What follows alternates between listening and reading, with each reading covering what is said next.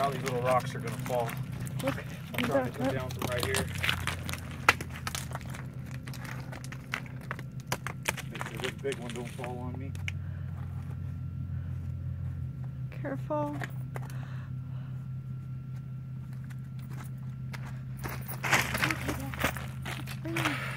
He is Chuckawalla. big. He is ginormous. Oh, he's so cute. Four months of searching. I lived up in St. George and we've been looking around for four months for these guys up there. Haven't found one in the southwest oh, part He's of so Utah. big I can barely even hold him in the. Oh shoot! Come on! Stop trying to get away. Stay here, buddy. Stay. You only got to hang out with me for a few more minutes, and you were a free lizard.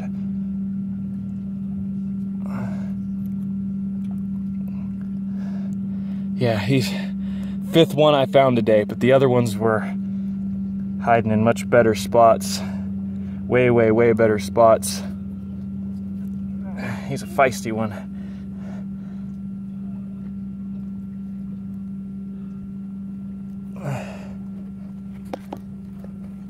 Come on, quit trying to whip me. All right, taking measurement. Tell about right there is where his tail is, flattened out. Oh, hey, you destroyed my measuring.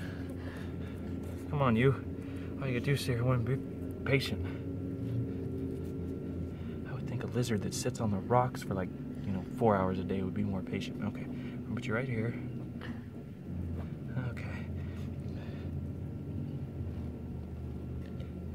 He's 15 and a half. You getting that, buddy? Seeing his length? Hey, couldn't run by me.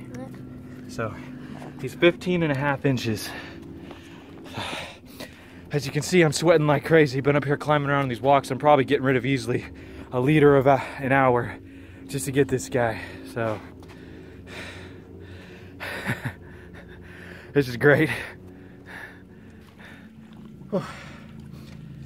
fairly worn out and warm. I think it's like 105, 106 today, 107. It's supposed to hit 114. Um, so when you go out to get the Chuckawallas, try and get them in the morning because normally once it gets to the low hundreds, uh, they're gonna hide. Um, and as you can see, my shirt, it is soaking wet and this is not water. I haven't been in the lake, it's just sweat. My arms are pouring in sweat, my eyes are burning. They're like on fire. I feel like I've been swimming in salt water just from the sweat pouring into my eyes and burning me just to get this guy. Um, worn out. I'm sure he is. I've held him long enough. Give my son the privilege of letting him go, and so he can be free and not have us bothering him anymore. So, and he's right here next to the lake. So, in the event that he needs water, I've heard they don't drink water, but I've seen people giving them water. I don't know if they do or they don't, because kind of mixed reports. But either way, he's right here next to the lake. There's lots of plants to eat, creosote, water. So, uh, shelter, shade. Put him back in his little shady rock, so he'll be completely safe. back over there, we found him. All right. Okay, buddy. Put him over here in the shade. Right over here. Well, uh, keep going. Don't let him get you. Don't let him get you, buddy. He's going crazy. Okay.